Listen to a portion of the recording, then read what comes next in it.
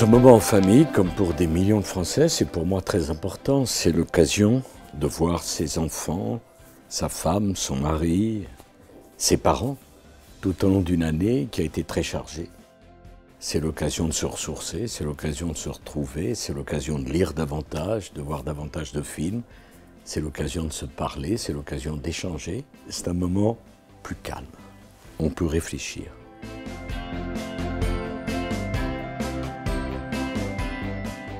La foi, euh, la transcendance, la pratique religieuse, spécialement dans un pays aux racines chrétiennes comme le nôtre, c'est au-delà même du culte, c'est une tradition culturelle. De nombreuses personnes vont à l'église, visitent des crèches, installent des crèches dans leur appartement autour du sapin de Noël. Ce n'est pas forcément un geste d'appartenance religieuse, c'est un geste de fidélité culturelle aussi. Je respecte beaucoup tous ceux qui donnent leur vie au service d'un message de paix.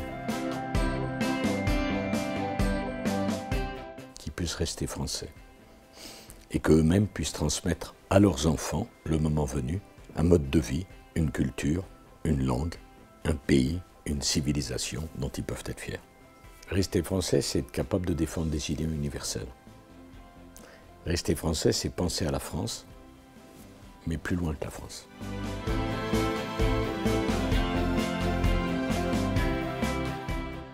Les miens, ce sera beaucoup de travail, beaucoup de présence sur le terrain, beaucoup de rencontres, beaucoup d'écoute et aussi beaucoup d'autorité pour essayer de mettre tout le monde dans la même direction.